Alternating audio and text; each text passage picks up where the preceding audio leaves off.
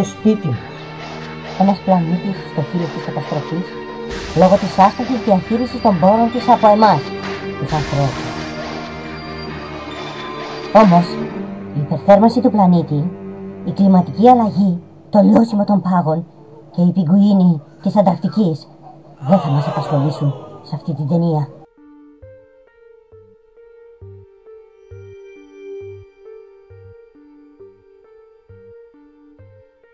Αχιλέας και ο Έκτορας, φίλοι καρδιακοί, καμία σχέση με τους αρχαίους παλικαράδες.